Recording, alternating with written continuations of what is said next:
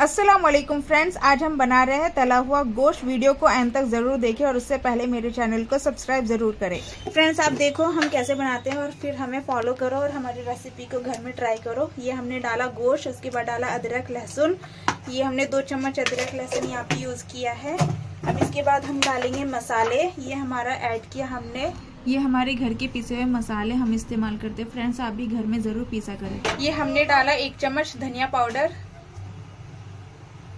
आधा चम्मच हल्दी और ये हमारी लाल मिर्च, दो चम्मच। ज़्यादा अच्छा टेस्ट आने के लिए चटपटा। ये हमने डाला टेस्ट के मुताबिक नमक।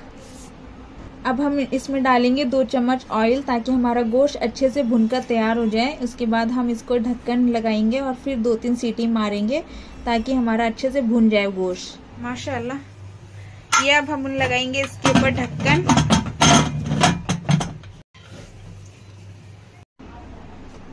कुकर हम रख रहे हैं, अब गैस के ऊपर ये रखा और अब इसको सिम पे रखेंगे थोड़ा। फ्रेंड्स, ये हमने बारीक मिर्च पीसी है। और ये हमारा भुना हुआ गोश्त तैयार हो चुका है। फ्रेंड्स, बहुत है ये हमने रखी कढ़ाई, अब इसमें ऑयल डाला हमने एक चम्मच। ये डाली हमने एक छोटा प्याज कटा हुआ। तेल में गर्म करने के लिए, तलने के लिए इसको अच्छे से फ्राई करेंगे। आप देख सकते हैं हमारी प्याज गोल्डन हो चुकी है। अब इसमें हम भुना हुआ गोश्त डालेंगे। ये इस तरीके से हमें इसमें भुनी हुई प्याज में भुना हुआ गोश्त मिक्स कर देना है अच्छे से।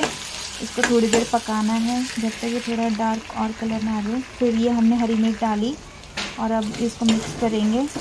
माशाल्लाह, काफ़ी यमी दिख रहा है हमारी रेसिपी आप भी घर में ज़रूर ट्राई करें। देखिए फ्रेंड्स ऐसे ही इसको अच्छे से मिक्स कर देना है ऑयल में। जैसे थोड़ा सा ऑयल बाहर ना आ जाए गोश्त के, और गोश्त थोड़ा पकेगा अभी। ये हमने डाला एक चम्मच मीट मसाला। ये हमने घर में पीस के रखा था आपने। तो आप भी डाल सकते, घर में यूज़ कर सकते, पिसा हुआ मसाला।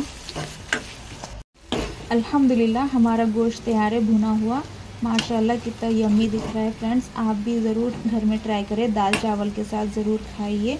बहुत टेस्टी रहता है और इसमें टेस्ट इतना लाजवाब आता है जैसे कबाब भुना हुआ, माशाल्लाह। आप भी घर में ज़रूर ट्राई करें और कमेंट करके बताएँ कैसा बना। चलिए फ्रेंड शुरू करते हैं। बिस्मिल्लाह, ये खेत के चावल है जो सेहत के लिए अच्छा है और दाल के साथ तला हुआ गोश्त, अल्हम्दुलिल्लाह। फ्रेंड्स खाने से पहले बिस्मिल्लाह और खाने के बाद अल्हम्दुलिल्लाह कहना ना भूलें। और मेरे चैनल को सब्सक्राइब करें, वीडियो को शेयर करें लाइक करें कमेंट करें और सपोर्ट करें। अस्सलाम